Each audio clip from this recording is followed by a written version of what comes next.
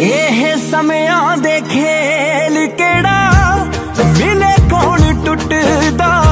ਹੁੰਦਾ ਲਿਖਿਆ ਜੇ ਸਾਥ ਫਿਰ ਹੱਥ ਕਾਨੂੰ ਛੁੱਟਦਾ?